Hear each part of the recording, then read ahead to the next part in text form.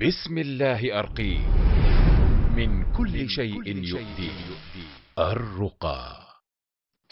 الرقية طرقها وأنواعها وأحكامها. الرقى جمع رقية وهي القراءة على المريض ونحوه لرفع الضر عنه. ما طرق الرقية الشرعية؟ القراءة مباشرة مع النفث أو من غير نفث القراءة على النفس أو المريض مع وضع اليد على موضع الألم أو مسحه. النفث في ماء ثم يسقاه المريض أو يغسل به موضع الألم أو يغتسل به. الرقية ثلاثة أنواع.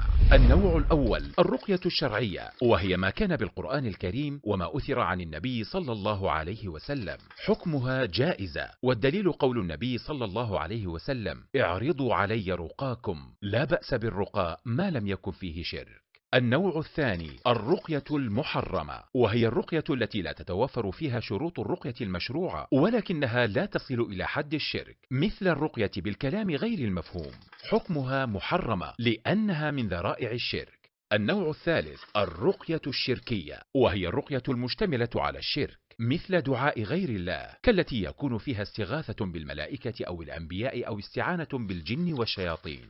حكمها محرمة وهي شرك أكبر والدليل قوله صلى الله عليه وسلم إن الرقى والتمائم والتولة شرك من المفاهيم الخاطئة حول الرقية الاعتقاد أن الرقية لا تكون إلا من أشخاص محددين. التعجل بطلب الشفاء. الاعتقاد بعدم مشروعية الرقية في الأمراض العضوية.